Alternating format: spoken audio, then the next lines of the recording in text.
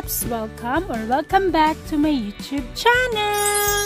For today's video, gagawa naman tayo ng isa sa masarap na merienda.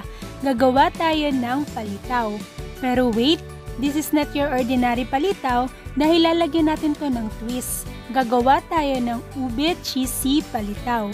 Kaya panoorin lang yung video na ito hanggang dulo.